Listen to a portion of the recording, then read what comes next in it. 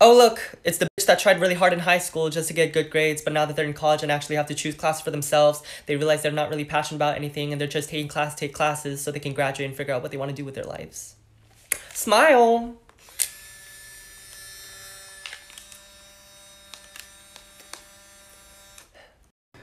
I love when old people are like, enjoy your life now. This is the best, like, part of your life.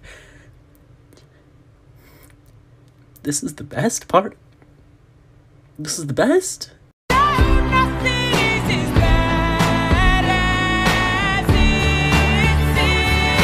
We'll come clean. Just give me a reason, just a little bit's enough. Monday, I have nothing to do. Tuesday, I have nothing to do. Wednesday, I have nothing to do.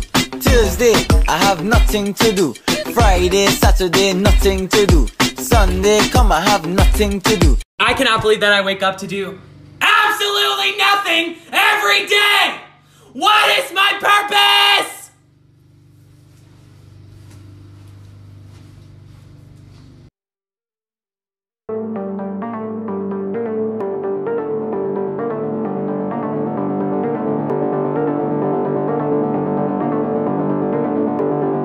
Okay, who else is dealing with this right now? I want to get up, get fit, get productive, work towards my goals and ambitions and career and dreams, but I don't want to do anything because nothing feels like it matters and I just want to stay in bed all day, but then I'm beating myself up for staying in bed all day and being lazy all day and not getting anything done, even though I don't want to force myself to get things done when I don't have the energy or the capability of getting stuff done. Like, I want to take care of myself, but I also want to stop feeling like a piece of trash for not getting anything done.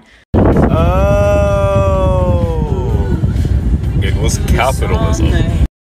Are we supposed to know what we're doing? No? Great. Just checking. You must have some goal.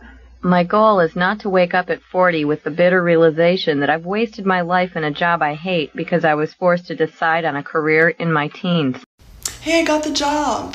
yeah, now I can avoid homelessness and afford to put food in my stomach during the 30 minute meal break that I get throughout my 8 hour shift, which takes up about a third of my entire day, the other two thirds of which I exist in a constant state of existential dread. And then on my two days off, I get to choose between doing things that I enjoy and resting my body. Not bad, right? Yeah, I just I feel really grateful to be making minimum wage and to be unfairly exploited for my labor, while the top 1% makes hundreds of billions of dollars during a global pandemic. I love capitalism.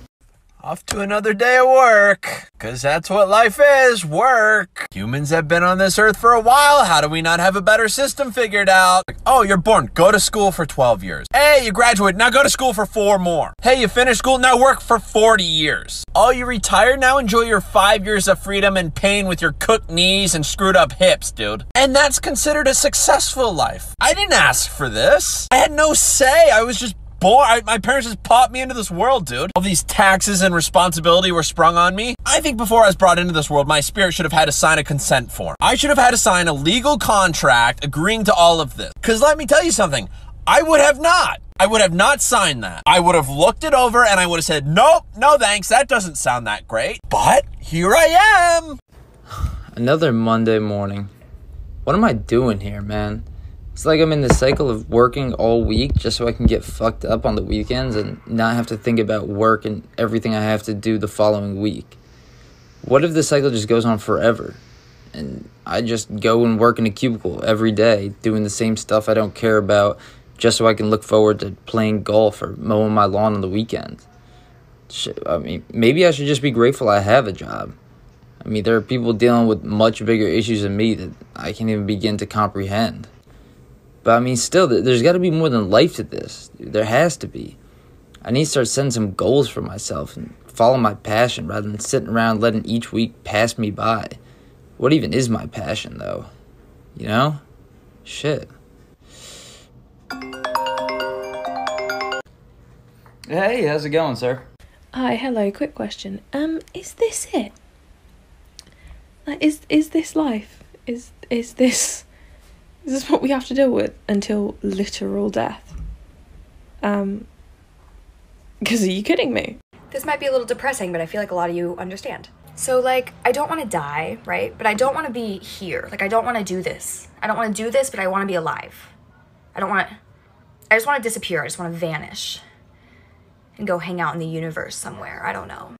I guess Peter Pan was right. Growing up's a waste of time. So I think I'll fly away. Set a course for brighter days. Find the second star, I'm soaring. Then straight on to the morning. I know that I'll be fine. Cause I know Peter Pan was right. I was crying to my boyfriend about how I'm disappointed in where I am in life. Almost 27 and I'm jobless, live at my dad's, and hardly have any friends right now. And then he sent me this text. He said, "Yeah, I understand that you're not that you might not be where you thought you'd be, baby, but everyone sets unrealistic goals when they're younger. The difference between other people and you is that other people settle when they're dealt with shitty reality and you don't want to. That's what makes you special. I know it feels shitty and disappointing right now, but just the fact that you are feeling restless and want something better sets you apart from everyone else. That's exciting. You're an exciting person and you're going to do you're going to do amazing things. This is just life testing you. what the